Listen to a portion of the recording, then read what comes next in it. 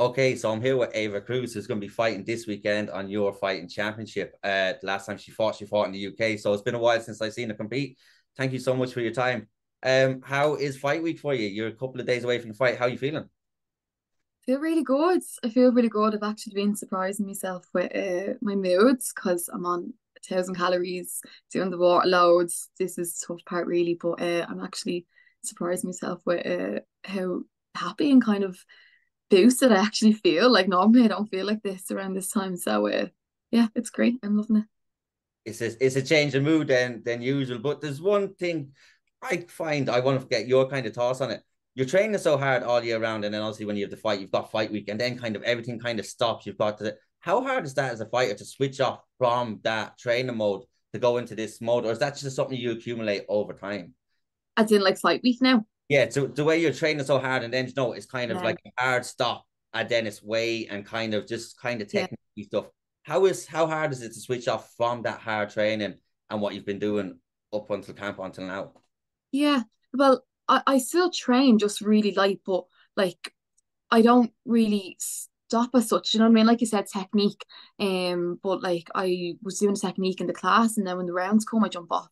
So I'm still. And some people don't like doing that, you know. But I do. I just I just like to keep moving. Um, and just still doing like your shadow box and stuff like that. Um, so I'm still always doing something. So um, I don't find it that hard to be honest. I don't find it too hard. Um, I always get straight back into it anyway. I don't take too long off because um, I do miss it so. Um, but no, I, I don't find it too much of a transition because I know my body needs it. You know, the kind of way. Like if I ever do get anything like, oh, I want to stay on for even one or two rounds, like I just try and hold off because uh, I know that'd be silly and uh, yeah, it's it's what my body needs and deserves at this time. So I find it all right. Yeah. Yeah, it, it I I could say like that your body does need a rest. You train hard all year round, and you've got a good group of girls in SBG. I do see obviously yourself and a couple of other girls posting. What's it like having that those kind of bodies in to train with as well? Do you know that usually girls might have a smaller or gyms might have smaller number of girls. You've got like like amazing pro fighters. You've got amateurs. You've got knobs. You've got everything. What's it like yeah. training SBG with those bodies at the minute?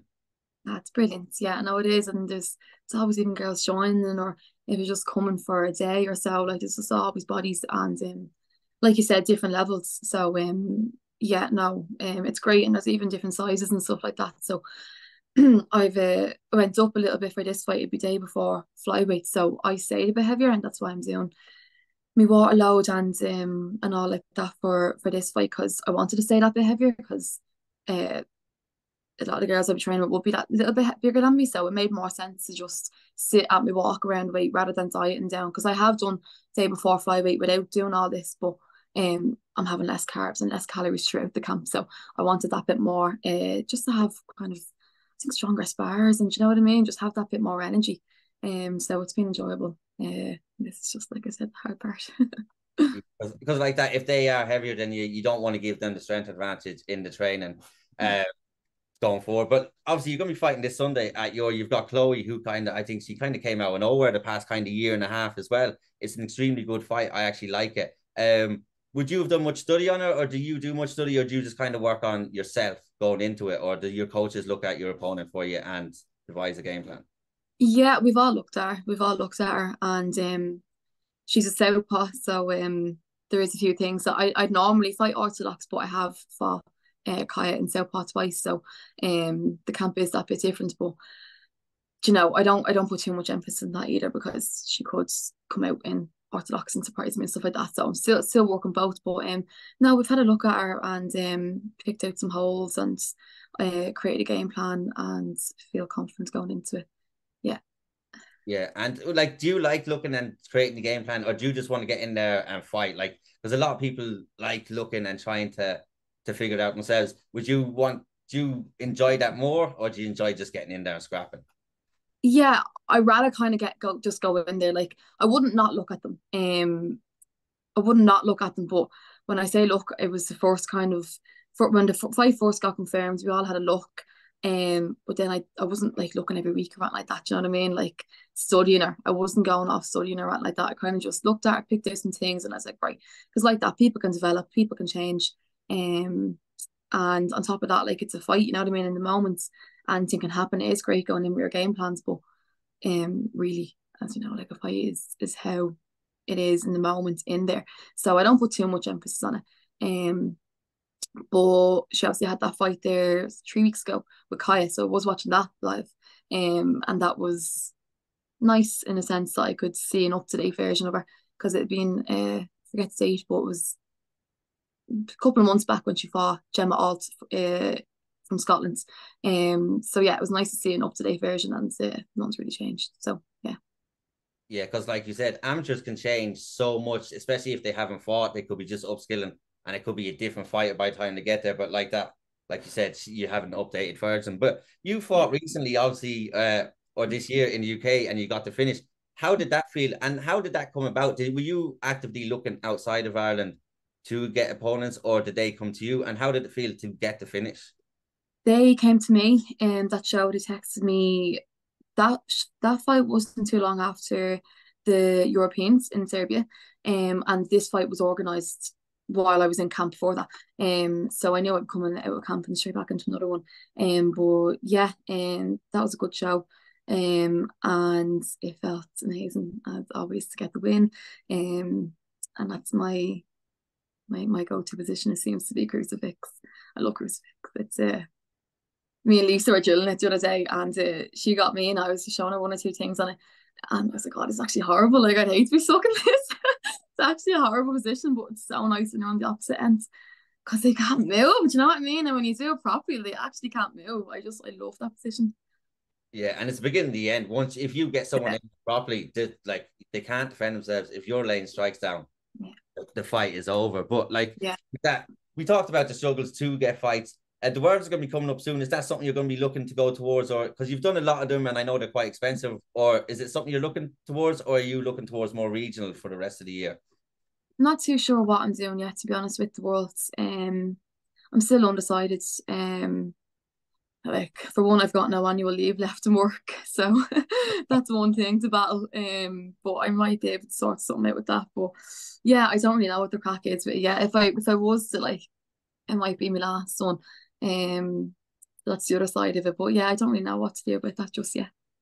Yeah and then obviously uh you've got then you've got six shows in November so you've got your choice to pick from. Three of them on one day uh, we won't even go into that but, yeah that's my uh, Wait, like obviously your progression has been very good, uh, and like I said, you're gonna start you're gonna start running out of girls fight here. Do you have mm-hmm. an eye on pro in the near future? Are you gonna start looking more outside to the UK to get these high level fights? Because there's not gonna be many more for you to fight in the country, I don't think, because a lot of the girls will be coming in kind of new. You've yeah. got so many fights. Do you have a plan now, or are you just taking it one fight at a time? Yeah, I'm trying my best to think ahead, like to the near future. Um, it's just like that. Like there isn't really anyone left in Ireland now after Chloe. Um, so that that is a struggle in Ireland, and then there is quite a few girls in England, but the tricky part is getting the shows to cover your flights and accommodation because it's not just for me; it's a coach that they they need to to be paying for as well, and a lot of the shows actually don't do that. Um, but I was offered a title fight um against a girl in England that I do want to fight, um, but it was too soon after this fight, and it was my first title and all, so and I'm going away and there was just it just wasn't uh the date just wasn't right. But um I was offered that same fight then in March that's their next show. So like that I've got a title now in England fights and accommodation paid for for me and the coach uh, in March. So I've that to look forward to but um it is a struggle like and that's why the IMMAFs I agree but a lot of it comes down to money you know what I mean? Like it does it's expensive to fight and um just trying to find the shows that are outside of Ireland um to pay for flights and accommodation. But they are out there, and uh, it's just about staying positive, really, because like the, realistically, the girls are in England or Scotland. Um, there's one, one or two in Wales, and um, yeah, just putting my name out there. There's a, a an Instagram page, and it's for female matchmaking. It's called Horror Fight Directory. You probably know it, like, and they're actually brilliant. Um, they have like a directory, and you put your name in, and when fights come up, like, or they're, they're so good, and they're two pro fighters themselves um who run that female. So um I have my name down on that with all them and like that they try and get the flights and accommodation covered. Um so yeah, it's just about staying positive and put my name out there as much as I can. Um and just hoping that something comes up. But I would like something for the end of the year. Um I would like something for the end of the year. That's that's what I do now. Yeah. After this one, like Yeah, hopefully, hopefully there is something for you. Like that, reason yeah. don't make a hell of a lot, and they don't like. It's hard to get people people over, and then flights, accommodation, and all everything else that goes with it. Um, and how hard is it? Like I said, you've no annual leave and work. We're not going to go into your work, but like to work full time and to fight, like how hard is that to balance? Because like I said, you've got your annual leave, the IMMAFs costs money. Like, have you got that structured now, or did, how long did that take? How hard is that? Because people don't understand. They see these fighters, but they don't understand. A lot of you have full time jobs. Yeah, yeah. I think I'm used to it at this stage, like just the everyday grind, Like, you know, I just think I'm used to it. Um, like I'm nearly five years now in this job, and um, I will say they're very good to me. Like they are flexible. Um, like for example, even letting me um leave during the day to to go to training, the pro class, which is on at eleven. So I start earlier and then I finish later. So I'm still working eight hours. But um, a lot of jobs wouldn't let you do that, you know. Um, so that's one thing. They're very they're very supportive with that.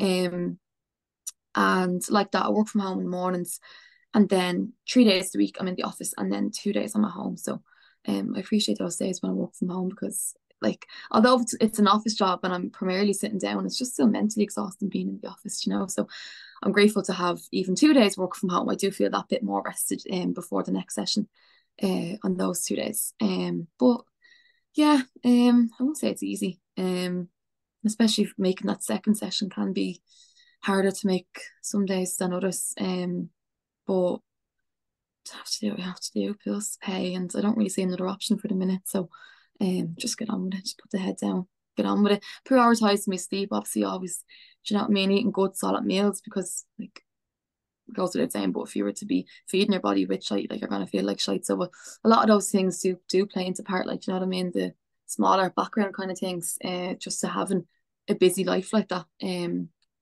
so, yeah, but like that, I think I'm just used to it now. Yeah, it's the little details that kind of make the big picture for you as well. And you are lucky you have a job that is kind of flexible as well because it is hard. Like I speak to so many fighters and like it's it's not easy and it costs a lot of money. Like it's not like yeah. you make money, but it's good that you're able to do that and you're able to benefit from from your job being so good to you. Um so with that being said, like towards Sunday, like when you start you kind of how is your wake up for you? Like obviously you've done quite a few now. You fought a lot of same day weigh-ins as well. Which do you prefer? Do you prefer the day before, or do you prefer the day of, or do you does it make a difference to you? Um, if I could choose day before, um, if I could choose day before, I don't mind same day.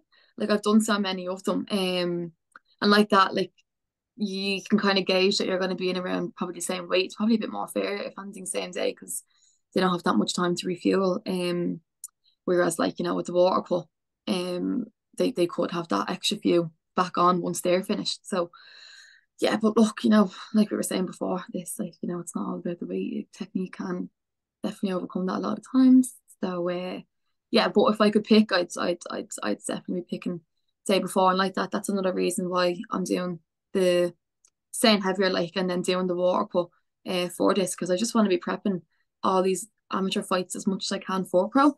Like pro, I'm not to be doing same day weigh-ins. I'm to be doing a water cut down to 52.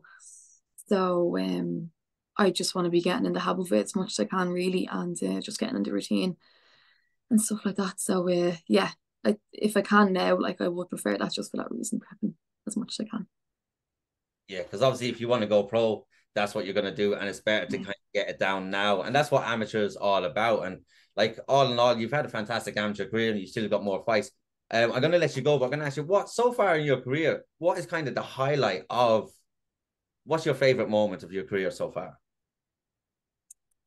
Defo winning the first fight of the Super Cup. Yeah, because that was actually that was my first uh, submission. That was my first finish. Was my first finish? Yeah, that was my first finish.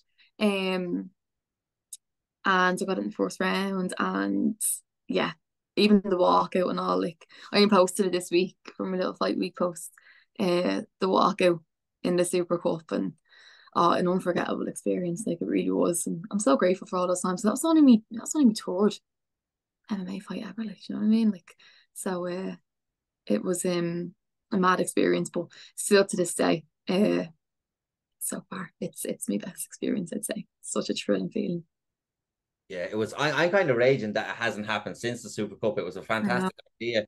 Um, like that. I was watching. I'd been working. I'd be watching in the truck, and I'd be like, look and see what was happening. And I remember you getting the finish, but no. Mm. Um, hopefully you do bring it back. But I'm gonna let you go. Is there anything you want to say before you go, or anyone you want to shout out? And I want to thank you so much for your time because I know it's fight week and I know you're busy. Yeah, no, thank you for having me. I appreciate it, and um, thanks to thanks to all my teammates um for always having great spars. Um, thanks to my family, they're so supportive, and uh, my boyfriend Bradley, he's so supportive. Perfect. I will see you on Sunday. I'll be at the show. Um, yeah, so I'll get to see the fight in person. I'll get to see fight in person again.